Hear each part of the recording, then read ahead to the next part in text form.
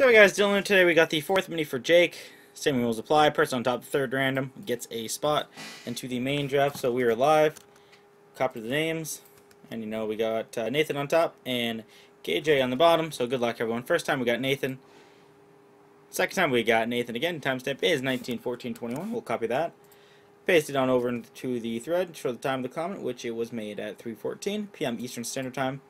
And we got 3:14, and we've got the winner is Nathan. There you go, buddy. Staying up top every time. Timestamp is 1914.35. So Nathan, you get a spot to the main. Let uh, Jake tag you in that so you can find it, or if you found it already, head on over and pick your spots. 314 again, and we still have 314, and we got spot 7. Nathan Jones is our winner. Congrats, buddy.